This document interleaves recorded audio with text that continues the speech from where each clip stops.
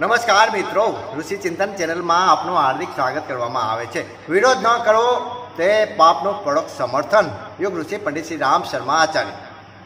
સંસારમાં બુરાઈઓ ઓછી અને શ્રેષ્ઠતા વધારે છે. તેથી જ આ સંસાર અત્યાર સુધી જીવતો રહ્યો છે. જો પાપ વધારે અને પુણ્ય ખૂબ ઓછું હોત, તો અત્યાર સુધીમાં આ દુનિયા શમશાન બની ગઈ હોત. અહીં સત્ય શિવ અને સુંદર એ ત્રણમાંથી એકનું અસ્તિત્વ ન હોય. દુનિયામાં આગ ઘણી છે, પરંતુ પાણી કરતાં વધારે નથી. એમ છતાં પણ આપણે જોઈએ છીએ કે અનાચાર ઘટતો નથી, પરંતુ વધતો જાય છે. સરકારે તેને અટકાવવા માટે ઘણા પ્રયત્નો કર્યા છે, પરંતુ ફક્ત દુષ્ટતાની પૂછડી જ તેના હાથમાં આવી છે. આશ્ચર્ય એ વાતની છે કે સજ્જનતા સ્પષ્ટ બહુમતીમાં હોવા છતાં પણ દુષ્ટતા સાથી ફૂલે ફાલે છે. તેને અટકાવવાની ઈચ્છા કેમ ફળતી નથી? અસુરતાની શક્તિ કેમ અજય થતી જાય છે? તેની સામે દેવતા સાથી પરાજય થતું જણાય છે.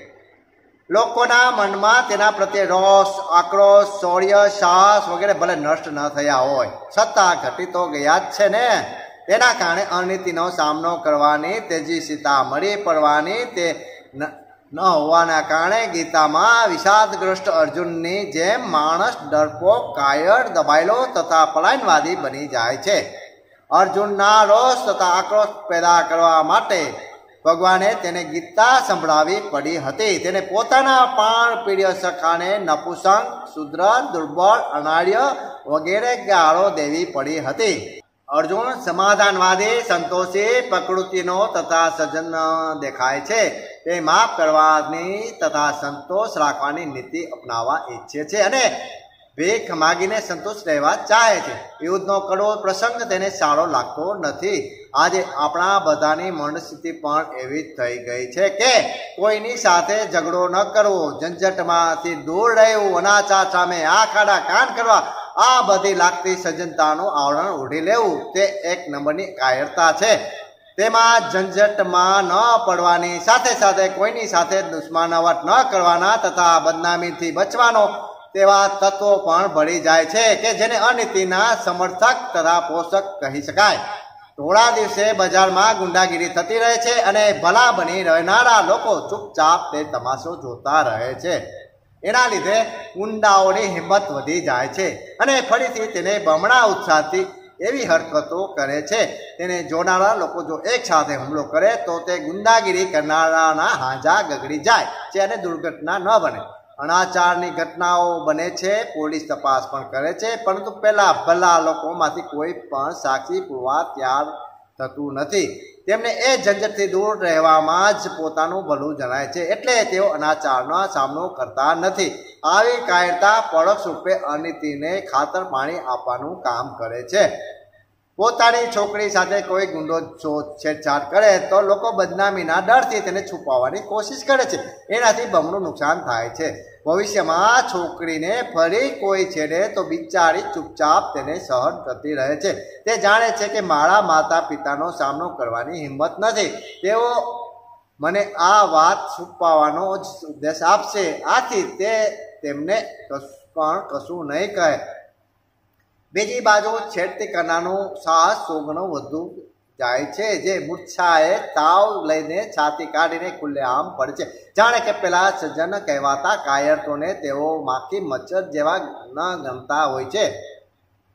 ભગવાનની અવતાર લેવાની પ્રતિજ્ઞામાં ધર્મની સ્થાપના અને અધર્મનો નાશ કરવાનું આશ્વાસન છે. દરેક અવતારના ચરિત્રમાં આ બંને તત્વો જોવા મળે છે.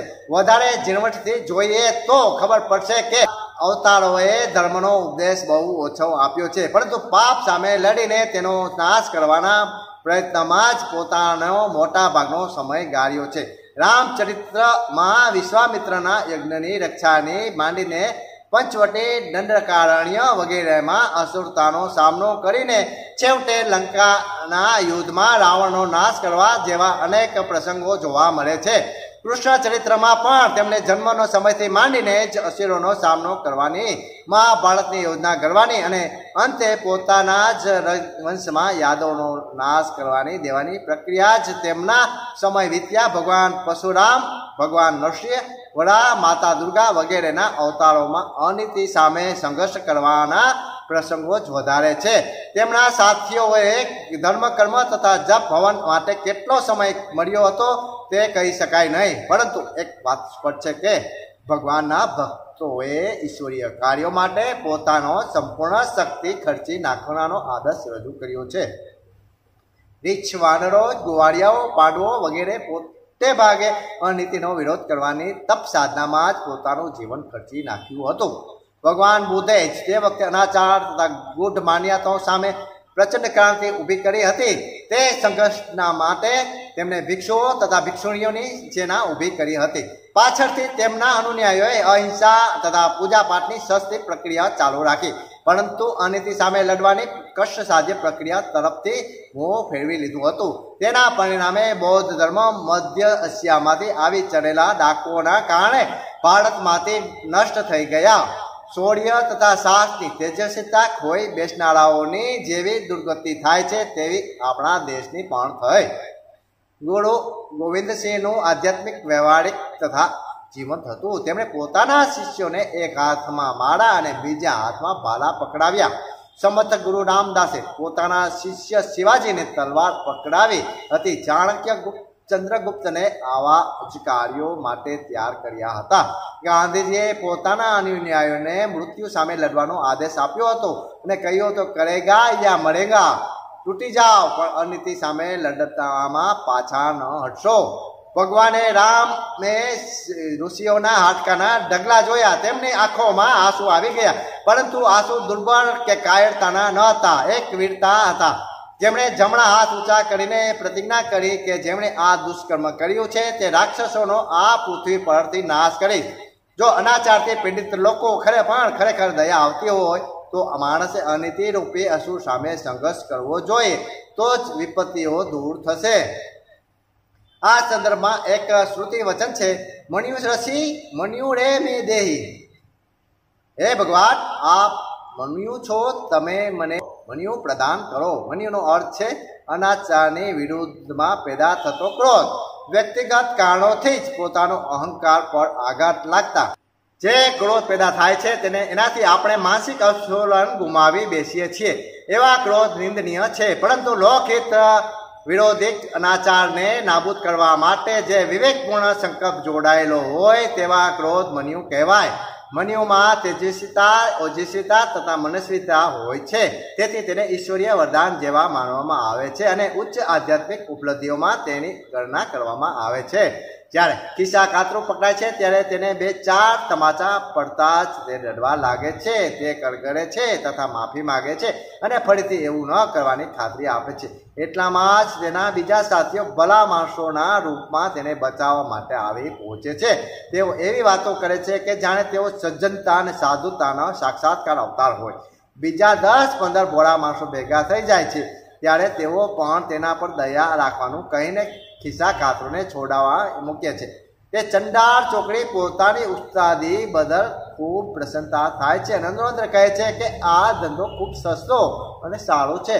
પકડાઈ જતા દંડ ભોગવ્યા વગર આ તરકીબથી સહેલી રીતે છૂટી જવાય છે. કરુણા અને દયા સારો ગુણ છે, પરંતુ તેમના દરેક જગ્યાએ ઉપયોગ ન કરી શકાય.